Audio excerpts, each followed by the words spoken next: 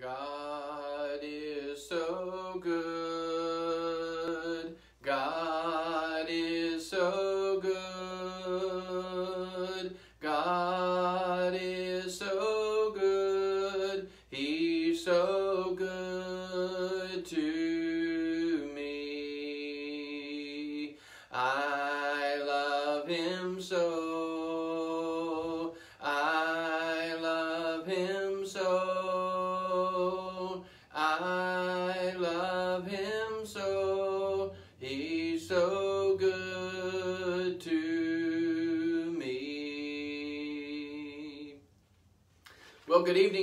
welcome to the Wednesday night Bible study here at the Opp Church of Christ. My name is Trey Poole. I'm the minister of the gospel right here at the Opp Church of Christ. I'm excited to be with you tonight. I know that if you're watching this live with me, uh, it is a little bit early uh, than normal, but uh, we've got a storm uh, quickly coming upon us, so I wanted to get it posted and I wanted to be able to uh, be at the house uh, when the storm got worse and worse through the night.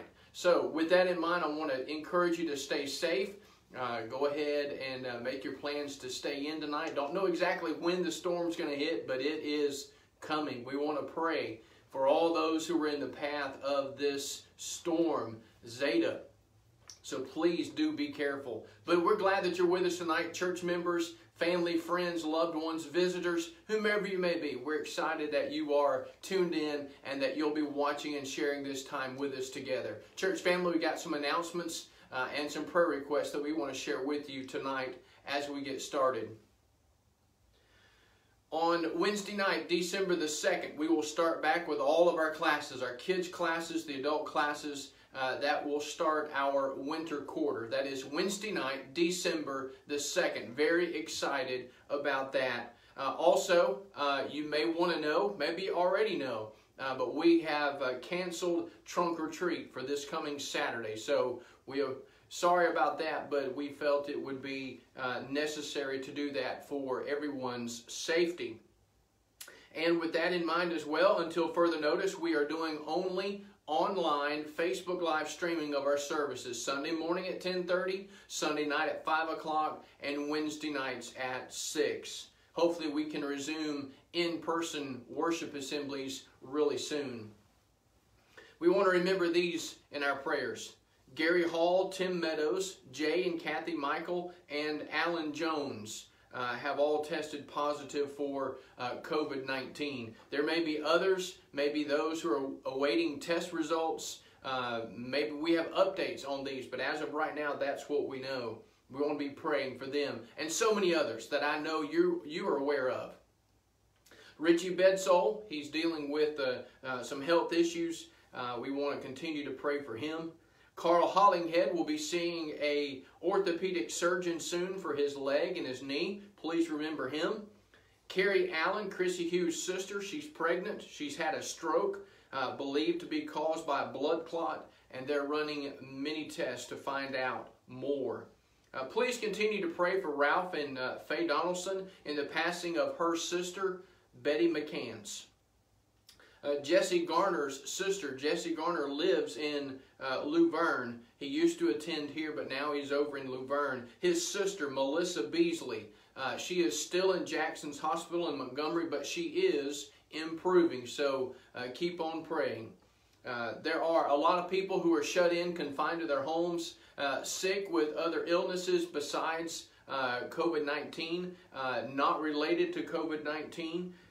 those who are battling cancer, a lot of people are dealing with grief and the uh, loss of loved ones. We want to be prayerful uh, for them. And as always, as we go to God together in prayer tonight, uh, I want to encourage you to just lift up uh, those concerns, the, the families, the situations that are going on uh, in your own life, in your own family, uh, that you are aware of. please lift those up to God as we go to Him in prayer together. Will you bow with me as we pray?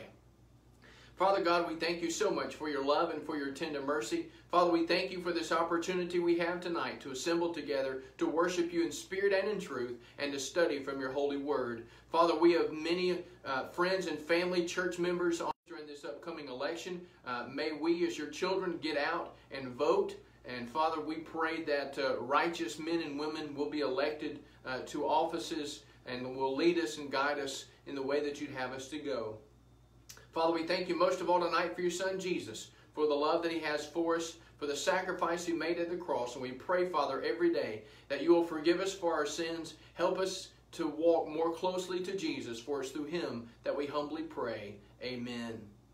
All right, well, I want to share a song with you. It's about four or five minutes long. It is a powerful song uh, to get us into the, the mindset of our lesson tonight. The song is entitled, Lead Me Gently Home, Father. And I want you to pay attention to the uh, soprano and the bass parts. If you like harmony and you like good uh, melody and you like the different parts, this is a beautiful, beautiful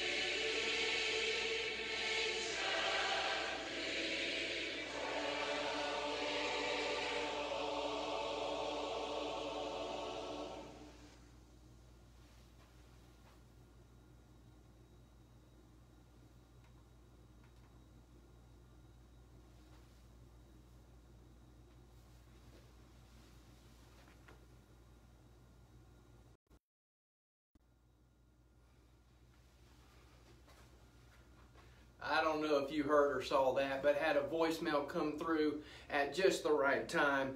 If you have your Bible tonight, go ahead and turn to Jeremiah chapter number 18. We'll get there in just a moment. Go ahead and hold them up high. I got uh, several sheets sheets of paper over here that are about to fall off. I got everything going on, got it all under control, and so glad to be with you uh, tonight as we uh, keep all of this uh, going. As we get into God's Word, it is super to be with you tonight to share the Word of God together.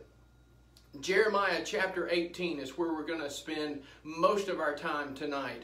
But like it or not, we are facing and dealing with a new reality. Now, I don't think we will go back to a pre-virus normal. Do you feel like you have maybe fallen through Alice's looking glass sometimes? So, what do we do in this new reality? Well, the way I see it is this. We have a choice to make. We can bemoan the loss of the old normal, or we can embrace the new mission with these new opportunities. Now, the mission itself is the same as the church, as Christians. But in this new reality, we have new opportunities uh, to be a part of that ongoing mission. It reminds me almost of what Mordecai told Esther in Esther chapter 4, verse 14. He said, For if you remain completely silent at this time, relief and deliverance will arise for the Jews from another place, but you and your father's house will perish. Yet who knows whether you have come into the kingdom for such a time as this? Isn't that a great thought? for such a time as this. Perhaps this new reality that we're all facing is our for such a time as this. You see, Esther made her choice to do what she could do to help the Jewish people. Even, even in a state of uncertainty, chaos, weakness, and lack of control. What this time has underscored the most in the reality that even with dreams and plans of our own, we must surrender and submit to the ultimate will and purpose of God in our lives. Even in the midst of uncertainty or chaos or weakness or the lack of control, this time that we are living in, the circumstances that we are dealing with and adapting to each and every day, should help us to remind ourselves to surrender and submit to the ultimate will and the purpose of God in our lives. Proverbs chapter 3, verse 5 and 6 teach us to trust in the Lord with all your heart Lean not on your own understanding. In all of your ways acknowledge him, and he will direct your paths. In Proverbs chapter 19, verse 21, your Bible says, Many plans are in a man's heart, but the counsel of the Lord will stand. The counsel of the Lord will stand. It's like, it's like when you receive a phone call and you don't answer it, and they leave you a voicemail. That voicemail is there is there until you get rid of it or delete it. It will stand. And sometimes those phone calls or those voice messages, they appear on your phone at maybe just the right time when you really don't want it to, to come up. But there it is. And, and with the word of God, the counsel of the Lord will stand forever. You see, with everything going on in this world, God is trying to get our attention. But are we listening to God? Do we even hear His voice over all the noise in the world? I was reminded of Jeremiah chapter 10, beginning in verse 23 and 24, where Scripture says, I know, O Lord, that a man's way is not in himself, nor is it in a man who walks to direct his own steps. Verse 24 says, Correct me, O Lord, but with justice, not with your anger, or you will bring me to nothing. You see, Jeremiah was facing not only a personal crisis, but he was also dealing with a national crisis. Jeremiah was facing a personal crisis in the face of a national crisis. He knew the hearts of Israel were turned against God, and he, that is Jeremiah, is admitting to the need for all people to understand that we need God. We need God. So, Jeremiah prays for God's mercy. He prays for God's grace. And this is where we often find ourselves. At the very bottom, nowhere to go and no relief in sight. Maybe we even feel that God has allowed us to be reduced to nothing, with no purpose and without hope. You see, when our plans for our life become interrupted or even worse, canceled, we often become blinded by frustration, pain filled frustration, because we've suffered loss the loss of anything, and you can you can fill in the blanks there. So much loss. I want to share something with you that I saved from Facebook. It says difficult things come during our life on earth. Hurricanes, tornadoes, floods, accidents, and illness are all a part of earthly life. People are afflicted with terrible diseases, marriages dissolve in divorce, and children are murdered. People lose all their life's savings because of corrupt, uh, corporate corruption and fraud and greed. No one is immune to the storms that come in earthly life. Earthly problems provide motivation for faith in God and for us to want to go to heaven. In Habakkuk chapter 3, verses 17 through 19, we read, Though the fig tree may not blossom, nor fruit be on the vines, though the labor of the oil may fail, or the olive may fail, and the uh, fields yield no food, though the flock may be cut off from the fold, and there be no herd in the stalls, yet I will rejoice in the Lord. I will joy in the God of my salvation. The Lord God is my strength. He will make my feet like deer's feet, and he will make me walk on my high hills. We must live life for and with God and never allow the circumstances of life to bring us to defeat and despair. We have something to cling to and someone to look to in our troubles. Let us look to God and lean on Him every day, especially in times of trouble. And that was, that was some encouraging words from a good preaching friend, Charles Box. So we need to remember this God is at work in every aspect of our life. No matter what we may see or feel or be experiencing, we need to realize that God is at work in every aspect of our lives. We are like we're like clay in the very hands of God, the master potter. All right, let's get to Jeremiah chapter 18. We're going to read verses 1 through 12. Jeremiah chapter 18 verses 1 through 12. The word of God which came to Jeremiah from the Lord, saying, Arise and go down to the potter's house and there I will cause you to hear my words. Then I went down to the potter's house, and there he was, making something at the wheel. The vessel that he made of clay was marred in the hand of the potter. So he made it again into another vessel, as it seemed good to the potter to make.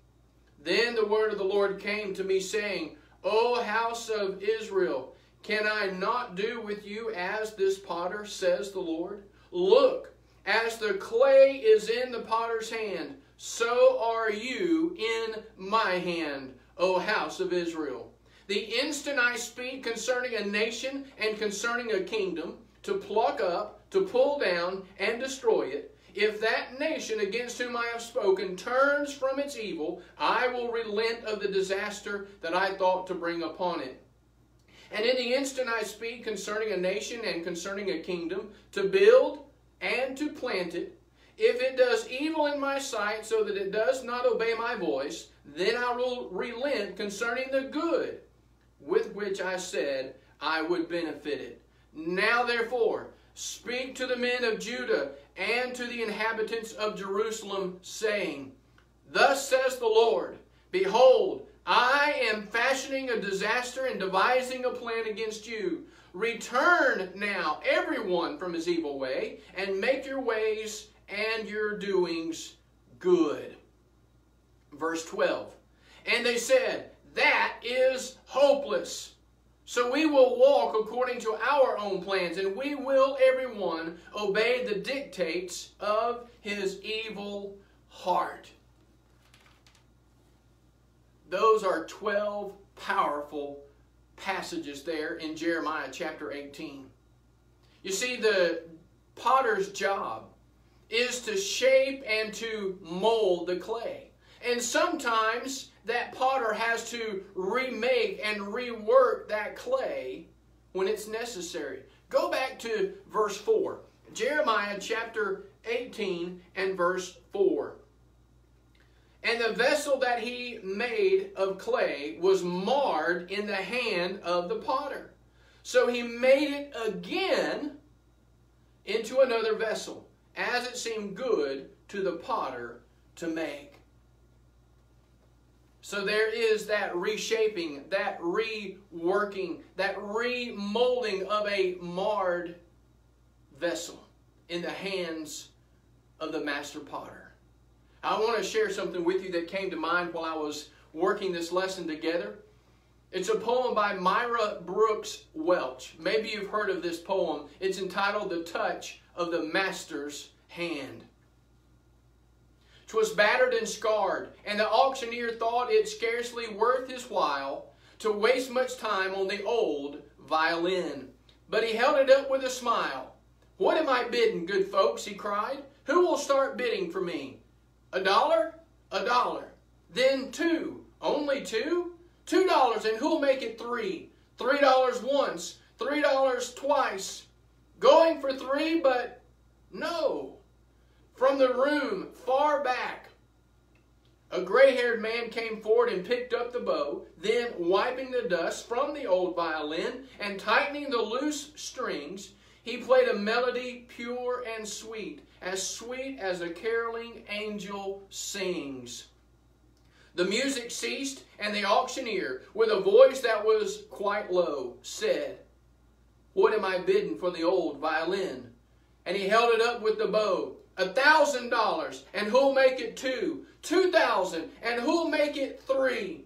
Three thousand once, three thousand twice, and going and gone, he said. The people cheered, but some of them cried. We don't quite understand. What changed its worth?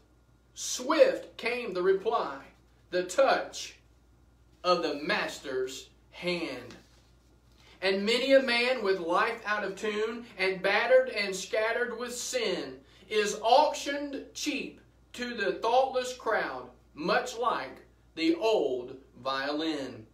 A mess of pottage a glass of wine, a game, and he travels on. He's going once and going twice. He's going and almost gone. But the master comes, and the foolish crowd never can quite understand the worth of a soul and the change that's wrought by the touch of the master's hand. Oh, I've always loved that poem. Those words, the touch of the Master's hand, makes all the difference. And tonight we need to really understand that God's image in us is marred by sin. God's image is marred in each and every one of us by sin. Sin separates us from God. Isaiah 59, verses 1 and 2. Sin mars God's image in us, and no one is exempt. In fact, your Bible says in Romans chapter 3 and verse 10, there is none righteous, no, not one. in verse 23 of that same chapter. Paul goes on and says, For all have sinned and fall short of the glory of God. And you know what? God wants his image back. God desires for us to be conformed to the image of Jesus Christ, Romans 8 and verse 29. I was reading about a police officer who was eating with some of his fellow officers, and he made this statement. He said, I mess up every day. The response came back, join the club. Maybe you can relate to joining that club. We all mess up. We all sin. We all fall short of what God would have us to be and to do. I think about Abraham. Abraham was imperfect, but God reworked Abraham so that he was able to sacrifice Isaac. You remember the scene there in Genesis chapter 22. God knew that as Abraham raised up that knife, that Abraham was going to do it. And so God stopped him, provided a, another way. I think about Peter. You remember how Peter denied the Lord three times? But yet God worked on Peter until Peter died a martyr's death? But what about you and me? What about you? What about me? We may be living in despair. We may be thinking that God has given up on us or that our sin is too great or too horrible for God to forgive us. There's no way that God could forgive me or you of that sin or those sins. Well, there's a Hebrew word for that. The Hebrew word here for this is baloni. Say it again. Baloney. Baloney. God can and God will forgive. God wants to forgive. But still, God patiently works with us. He works on us like that master potter, molding and shaping, sometimes remolding and reworking and reshaping that vessel until He's got us just like He desires. Let's go back for just a moment to Jeremiah chapter 18. Jeremiah chapter 18, verses 4 through about verse 6. Verse 4 again says, And the vessel that he made of clay was marred in the hand of the potter. So he made it again into another vessel, as it seemed good to the potter to make. Then the word of the Lord came to me, saying, O house of Israel, can I not do with you as this potter, says the Lord? Look, as the clay is in the potter's hand, so are you in my hand, O house of Israel. The instant I speak concerning a nation, and concerning a kingdom to pluck up, to pull down, and destroy it. If that nation against whom I have spoken turns from its evil, I will relent of the disaster I thought to bring upon it. You see, we are in the potter's hands. We are in the master potter. God Himself is shaping us and molding us into the vessel that He desires us to be. Now, I think there's a song in our psalm book that kind of sums up the attitude that you and I need to have in our lives, especially in such a time as this, this new reality that we are dealing with and adapting to. It's in our psalm book here at the church building. It's number 197. The song is entitled, Have Thine Own Way, Lord. Listen to this. Have thine own way, Lord, have thine own way. Thou art the potter, I am the clay. Mold me and make me after thy will, while I am waiting, yielded and still. Have thine own way, Lord, have thine own way. Search me and try me, Master, today. Whiter than snow, Lord, wash me just now, as in thy presence humbly I bow. Have thine own way, Lord, have thine own way. Wounded and weary, help me, I pray. Power, all power, surely is thine. Touch me and heal me, Savior divine. Have thine own way, Lord, have thine own way. hold over my being absolute sway. Fill with thy spirit till all shall see Christ only, always living in me. You see, God uses the circumstances. God uses the circumstances and the situations of life to mold us and to shape us if we will let Him. Go back to Jeremiah chapter 18. Let's pick back up in verse number 7. God says, The instant I speak concerning a nation and concerning a kingdom, to pluck up, to pull down, and to destroy it, if that nation whom I have spoken turns from its evil, I will relent of the disaster that I thought to bring upon it. And in the instant I speak concerning a nation and concerning a kingdom, to build and to plant it. If it does evil in my sight, so that it does not obey my voice, then I will relent concerning the good with which I said I would benefit it. Verse 11 Now therefore, speak to the men of Judah and to the inhabitants of Jerusalem, saying, Thus says the Lord Behold, I am fashioning a disaster and devising a plan against you. Return now, everyone, from his evil way, and make your ways and your doings good. You remember? God is the potter. God is the potter. You and I, we're the clay. There in the master potter's hands, on the wheel as he is turning and shaping and molding, reworking us to make us more and more like Jesus. But God knows our weaknesses. And he knows that we are formed from the dust of the ground, Psalm 103 and verse 14. And as clay, we must admit to and acknowledge God's greatness and his power and our own humility and weakness. John tells it like this in 1 John chapter 1 verses 8 and 9. He says, "If we say we have no sin, we're only fooling ourselves and not living in the truth. But if we confess our sins to him, he is faithful and just to forgive our sins and to cleanse us from all wickedness. Even in and through our weaknesses, God shows his power. He shows his power, his grace, and his might. You remember Paul's thorn in the flesh? Whatever it was, Paul did not want it, nor did he like it, but guess what? God used it in Paul's life. Take a moment and, and turn with me. Turn with me, please, to 2 Corinthians chapter number 5. 2 Corinthians chapter number, actually number 12.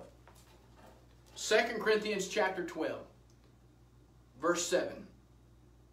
And lest I should be exalted above measure by the abundance of the revelations, a thorn in the flesh, Paul says, a thorn in the flesh was given to me, a messenger of Satan to buffet me, lest I be exalted above measure.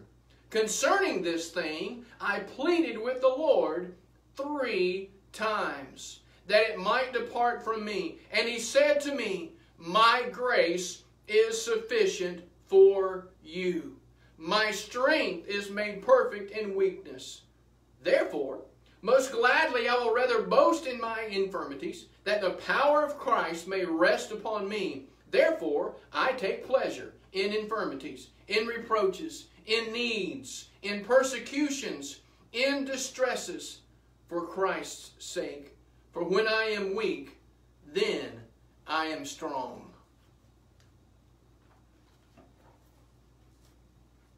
We all have weaknesses.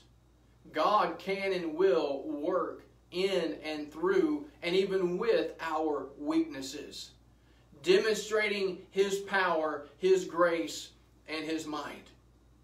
I'm reminded of Paul's words elsewhere in Ephesians chapter 6 and verse 10 when he wrote, Be strong in the Lord and in the power of His might. You see, in and of ourselves, we are weak. We are flawed. We are messed up. We've failed. We've missed the mark. but our focus must be on God. On what God can do and what God wants to do as the master potter, as He reworks and reshapes us into the image of Christ, if we will humbly submit to and surrender to Him. In Ephesians chapter 3, verse 20, Paul wrote, Now to him who is able to do exceedingly abundantly above all that we ask or think, according to the power that works in us. So tonight, as we as we kind of wind this thing down and close it out, I want you to go back with me to Jeremiah chapter 18. Jeremiah chapter 18, I want you to look with me at verse 12.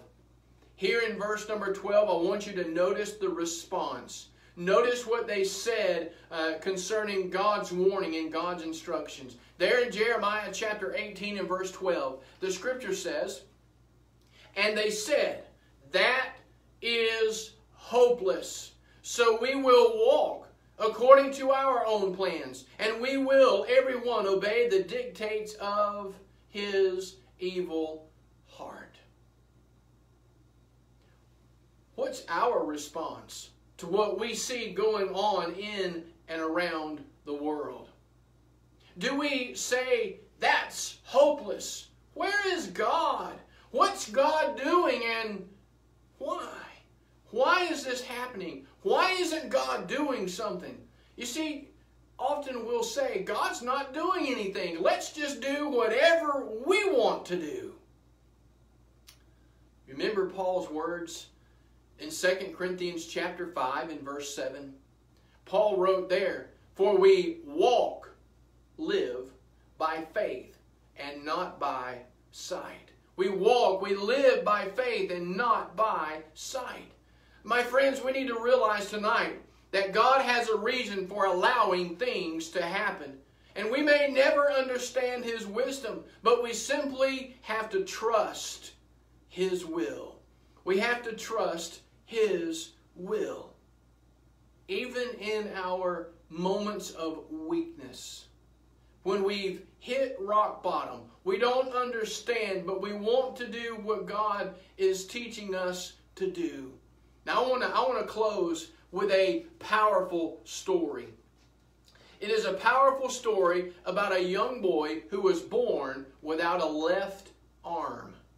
Maybe you've heard this. Let me share it with you. There was a little boy who signed up for jujitsu. That's a, a form of martial arts. But he had a disability. He was born without his left arm. But he went to the classes anyway. When he got there, his master, the instructor, noticed that he was missing an arm, his left arm. So he pulled him aside and told him to practice this one move and he showed the little boy what that move was. Just that one move. So the boy practiced that one move while all the other students were aside working on other things. Every practice, he would go and work on that one move over and over and over again. One day the competition came up, and the master said to this young boy that he was going and he was going to compete. But the little boy asked, I only have one arm. I can't really compete. The master told him to go, compete. So he went. He gets there to the competition, to this tournament. He gets ready for round one of the tournament. And at the end of round one, guess what? He's the winner moves on to round two. Goes on to round two, and he wins round two. Moves on to round three, and this little boy, who only has one arm, missing his left arm, moves on to round three, and he wins round three. Now he's in the finals. His opponent for the championship match is the best warrior at the competition. He tells his master, he says, How can I beat him when I only know one move and only have one arm? I don't have a left arm. All I've got is a right arm, and all I know is one move. I don't even have two arms.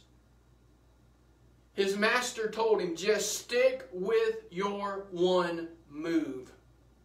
So the boy listened to his master and he sticks with that one jujitsu move that he has learned and practiced over and over and over again. And guess what? He ends up winning the entire tournament.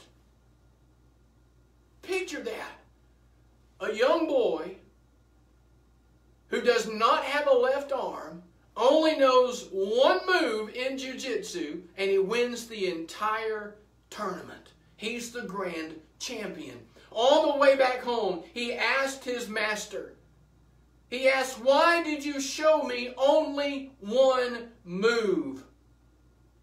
His master replied, the move that I taught you and the move that you have practiced every day, time and time and time again, that one move is the hardest move in Jiu-Jitsu.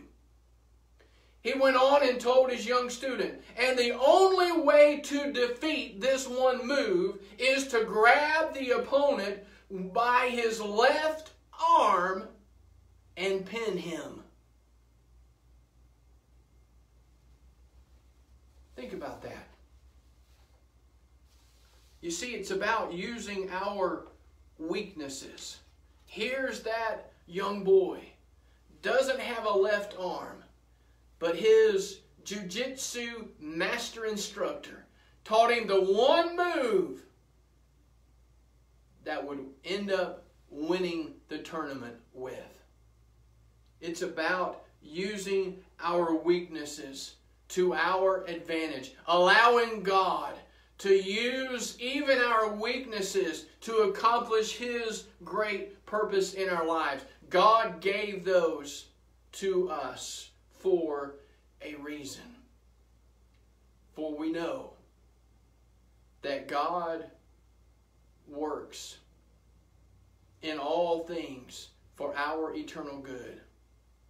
We know that all things work together for good to them that love God, to them called according to his purpose. Even in our perceived weaknesses, even in the weaknesses that we struggle with every single day, God's power can be demonstrated.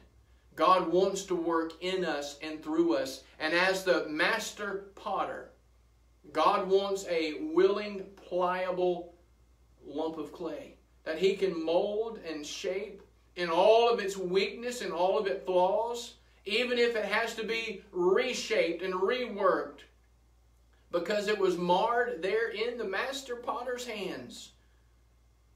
Think about the power of God at work in our lives. Think about what God can do. Think about the power that God wants to demonstrate in our lives. So, like it or not, we are facing and dealing with a new reality. Are we going to embrace the new mission as the church, as Christians, the mission that God has given to us to go into all the world and preach the gospel? Even with all of our weaknesses and all of our sins and all of our flaws, remember, God is the master potter. God will transform and shape and mold us and work us into the image of Jesus Christ if we will let Him. Will you bow as we pray? Father God, we love you. We thank you so much for tonight and the opportunity we have to be together. We pray, Father, that you'll help us to see you at work in our lives and in the lives of other people, at work in the world around us, dear God. Help us to trust you more. Strengthen our faith. Open our eyes that we can see you in all that's going on around in the world, that you're using it for your glory. Father, help us to be a part of that master plan, your eternal purpose, your eternal will in Christ Jesus. Father, help us to get out of your way and to let you work in us and through us as the master potter. Father, help us to have the attitude of have thine own way, Lord. Work in our hearts, work in our lives. Make us more and more like you. For we pray through Christ. Amen.